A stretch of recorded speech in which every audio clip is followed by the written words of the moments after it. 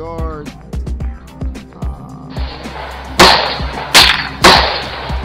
That's a hit. Do it again.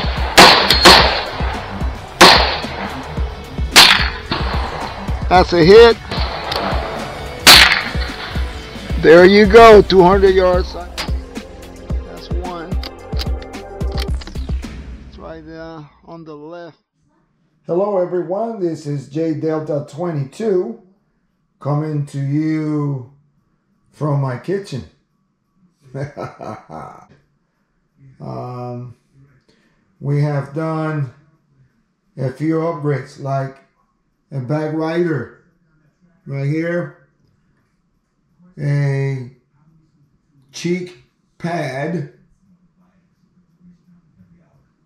a bolt handle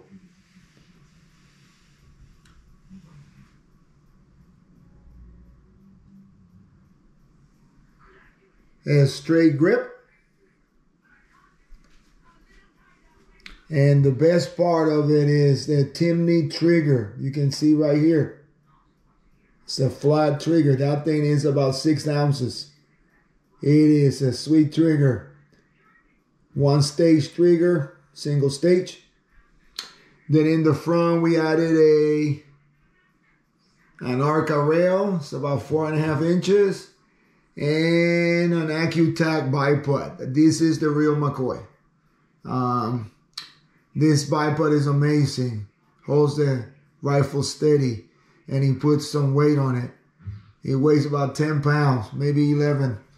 Uh, and of course, on top, I have an Arken Optics. This is an MOA